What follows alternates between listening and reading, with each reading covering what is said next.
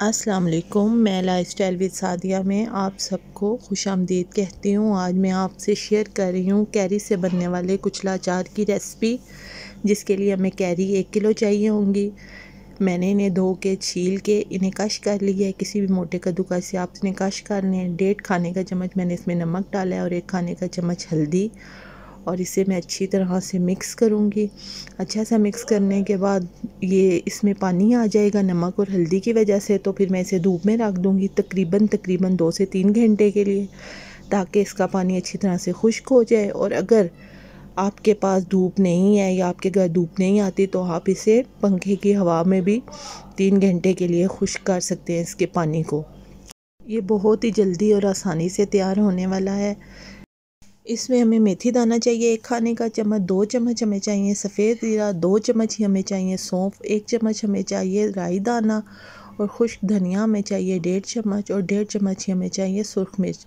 और ये छोटी चाय का चम्मच है जी, अजवाइन और कलवंजी। सबसे पहले हम कलवंजी और अजवाइन को हल्का सा हल्की आँच पे सोते कर लेंगे ताकि इसमें कोई नमी ना रहे। और इसके एक कड़कदार होने की वजह से और इसकी खुशबू से ये बहुत ही ज़बरदस्त जायका इसमें आ जाता है।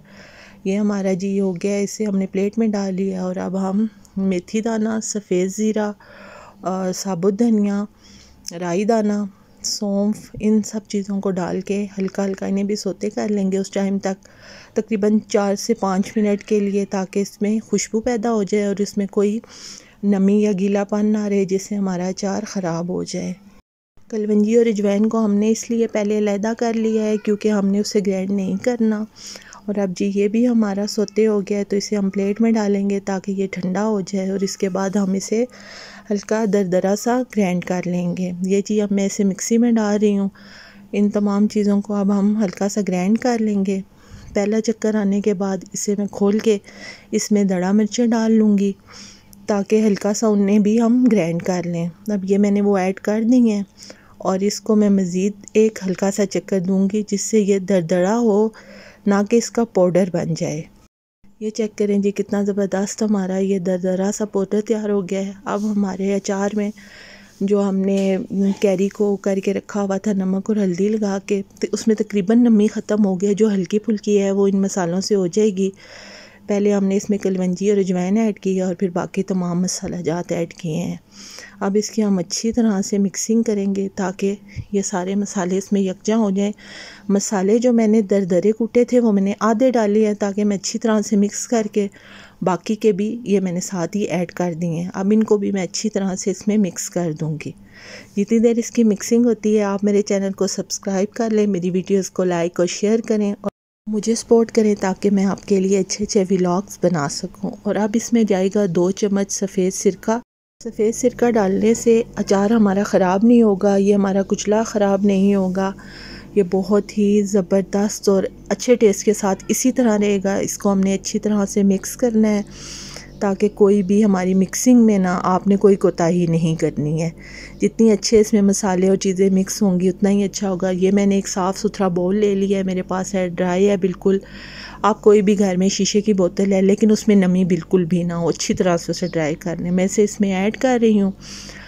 और सारे को इसमें डाल के रखूँगी। एक तो इसका मुँह खुला है, आसानी से हिल जाएगा। और अब ये इसमें मैं डाल रही हूँ सरसों का ऑयल ये कच्चा ऑयल नहीं है। मैंने इसे हल्की आँच पर पकाया है। जो इसका कलर चेंज हुआ है, हल्का पीला सा हुआ है तो मैंने इसे उतार के ठंडा कर लिया और ठंडा डाला है। आपने भी ऐसे ही करना है। पूरी रेसिपी को उसी तरह फॉलो करें। और प्लीज़ इस चीज़ की बहुत एहतियात करें कि इसमें सिर्फ़ लकड़ी का चम्मच इस्तेमाल करें, ना कोई और चम्मच इस्तेमाल करना है और ना ही अपने हाथों का इस्तेमाल करना है। इससे अचार हमारा ख़राब भी हो सकता है। अच्छी तरह मिक्सिंग के बाद हम बाकी का भी ऑयल इस पर डाल रहे हैं। जितना अच्छा ये ऑयल में डिप रहेगा, उतना ही अच्छा हमारा अचार का रिज़ल्ट रहेगा। अब हमने इसको अगर तो हमारे घर में धूप आती है तो हम इसे चार से पाँच दिन धूप में रखेंगे और दिन में एक दो दफ़ा इसे लकड़ी के चम्मच से लाते रहेंगे। और वैसे आप इसे अपनी किचन शेल्फ पे भी रख सकते हैं। इन ये ख़राब नहीं होगा। आप भी ज़रूर कुचला लाचार बनाइएगा और मुझे कमेंट्स में ज़रूर बताइएगा। अपना ख्याल रखिएगा। अल्लाह हाफिज़।